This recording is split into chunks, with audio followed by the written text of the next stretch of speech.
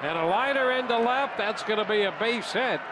Gomez decided to retreat on that one. And Dickerson, in an 11 pitch at bat, has himself a base hit. Yeah, Dwayne, I thought the same thing you did with Gomez out in left field. This is that, that at bat. That pitch is off the plate away. And look at him just go out there, cover it, put the ball into play. And Carlos Gomez plays it very safely and allows that ball to drop in. Yeah, and I don't